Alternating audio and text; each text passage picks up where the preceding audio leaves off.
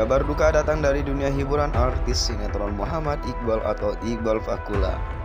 Iqbal meninggal di rumah sakit. Kabar meninggalnya Iqbal diunggah oleh akun Instagram Andi Zanulike. Inilah wa inilaihi rajiun telah berpulang ke rahmatullah Muhammad Iqbal atau Iqbal Fakula pada hari Selasa pukul 2 waktu Indonesia Barat. Semoga amal ibadah almarhum diterima di sisi Allah Subhanahu wa taala. Kami sekeluarga memohon dibukakan pintu maaf yang seluas-luasnya. Mohon didoakan semoga ampunan Allah Subhanahu wa taala dikaruniakan dan surga menjadi tempat tinggalnya ucapnya. Jenazah Iqbal Fakula disemayamkan di Jati Bening Baru, Pondok Gede, Bekasi, Jawa Barat, Jabar. Tiba bakal dibawakan pada hari siang ini.